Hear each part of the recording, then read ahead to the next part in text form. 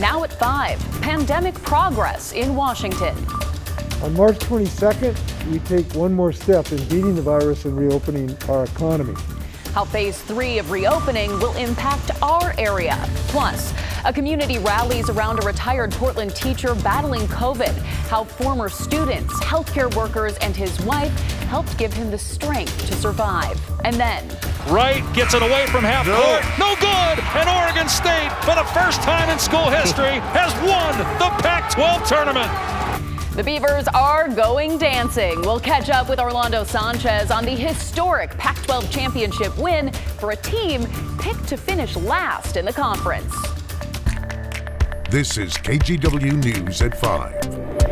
Thanks so much for joining us here at 5. I'm Brittany Falkers, and we begin with a big announcement that a lot of struggling businesses and their customers are glad to hear in Washington. Governor Jay Inslee says restaurants, gyms, and other establishments can open to 50% capacity soon. Tim Gordon reports from Vancouver. Main Street is showing more signs of life. Restaurants, bars, and other indoor venues are at 25% capacity now.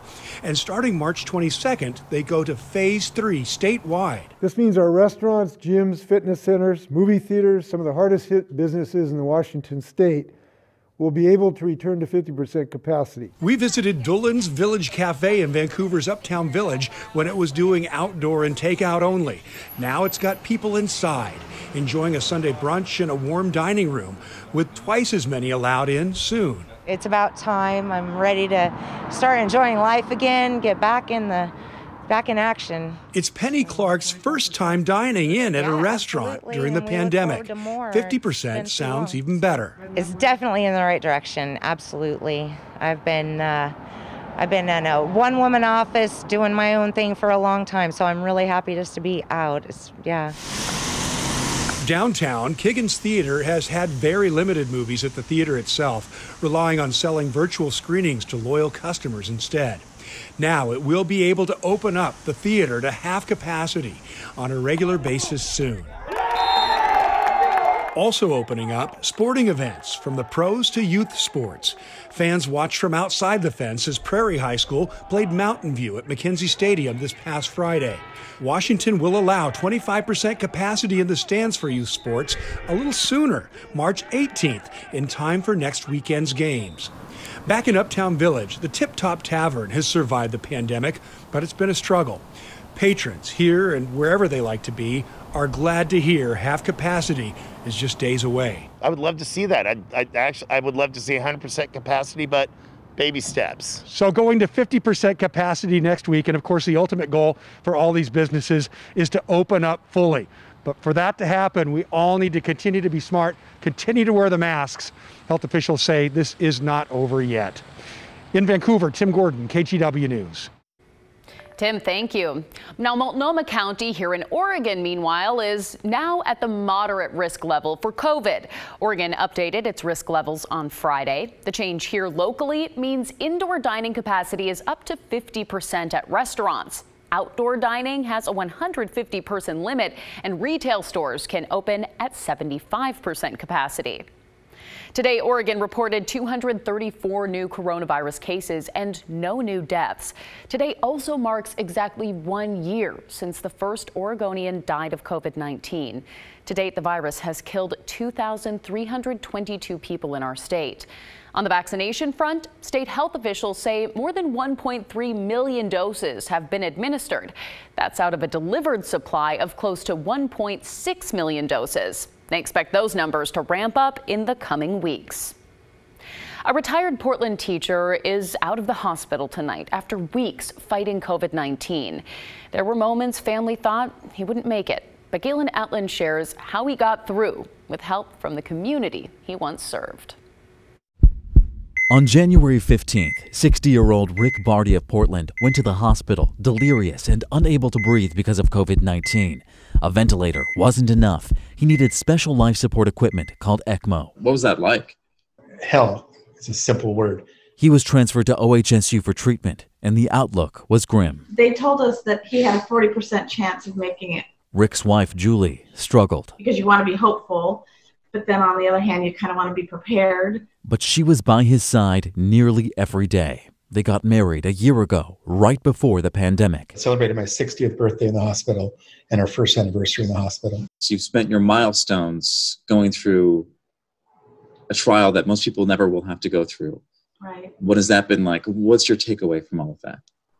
There's a reason I'm here. I don't know what that reason is, but grateful that I made it to 60. I'm grateful that I could say I've been married a year to a wonderful person. Rick's 30 years as a teacher came back big time. Hundreds of cards fill the walls of his hospital room from former students and families he impacted.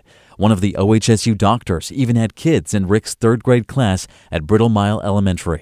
Hundreds of people also donated more than $20,000 to help with his medical bills.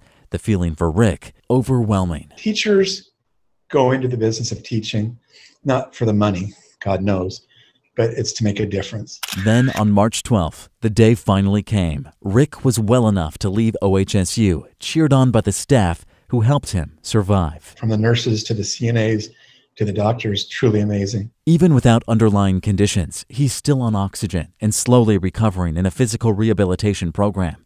His message to everyone else is stay the course. Wear that mask, wash those hands, keep social distance. COVID is real. Anybody who says it's not, take a look at me. And share gratitude for life and love.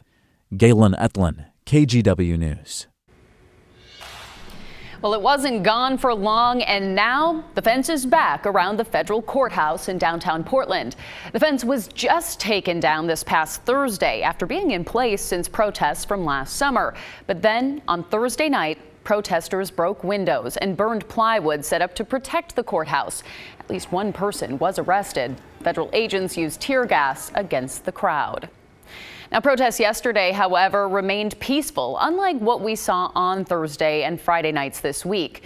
On Saturday, vigils and various protest events were held to mark one year since police killed Breonna Taylor in her own home in Louisville, Kentucky. One of the largest was last night at Revolution Hall. Supporters say they're continuing to call for justice since none of the officers involved in Taylor's death have been charged.